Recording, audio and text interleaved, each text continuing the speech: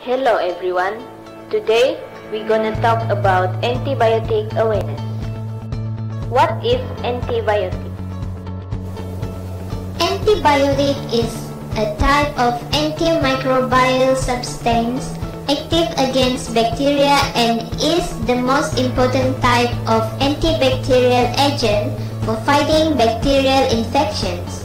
Antibiotic medications are widely used in the treatment and prevention of such infection. They may either kill or inhibit the growth of bacteria.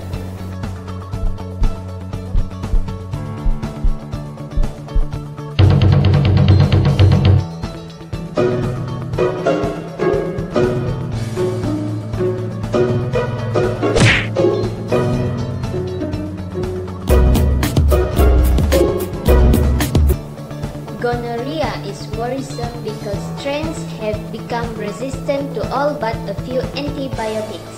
This sexually transmitted disease can share its resistance genes between bacteria, increasing the spread of resistance. Staphylococcus aureus or staph is everywhere, on all personal items or skin, in or noses. Staph is usually not harmful, but when it is, it can be difficult to treat especially in cases of methicillin-resistant Staphylococcus aureus or MRSA, which is now carried by 2% of Americans. They are just some of the leading bacteria in the resistance. There are others and more are coming.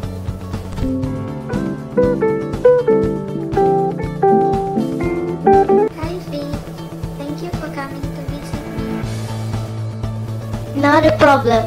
As a friend, it's my pleasure to visit you. So how do you feel right now? Still feel the same. My body temperature didn't decrease yet.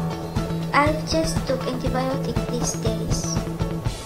Hmm, I think you should go to get advice from a doctor because it's not a good choice to take antibiotic without control. Plus, resistance may occur. How does the resistance occur? Resistance is happening quickly because of overuse and misuse of antibiotics over a long period of time, such as not completing antibiotic courses as prescribed and using antibiotics in agriculture to promote growth in animals.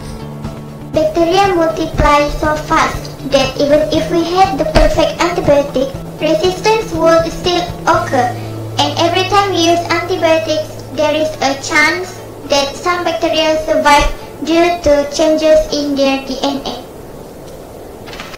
The DNA can code for survival advantage such as changing the bacterial cell surface, preventing antibiotics from attaching or getting in, making pumps that spit the antibiotics out before they have a chance to work or creating enzymes that neutralize the antibiotics. So, what can I do to fight the resistance? Using fewer antibiotics as a society can prevent resistance, saving antibiotics for when they are most appropriate.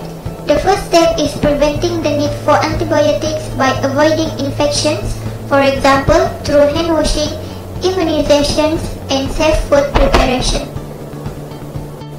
Using antibiotics the right way also helps, such as taking prescribed courses of antibiotics as directed to avoid leaving bacteria behind and giving them a chance to become resistant. Missed dose of antibiotics may allow a better environment for resistant bacteria to multiply and cause a resistant infection. Oh, now I know. Thank you for your advice. I will more aware about taking antibiotic next time.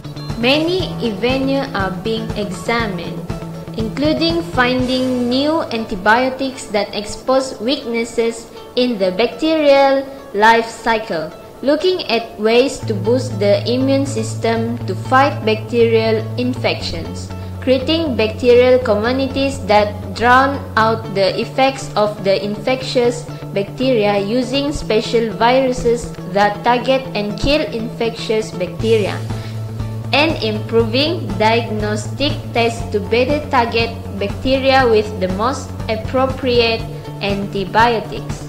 With good public health practices and cutting-edge research, we may be able to keep up with the resistance and infectious diseases in general, but we all need to work together to stay one step ahead. So that's all about this antibiotic awareness. I hope that you will learn something through this video.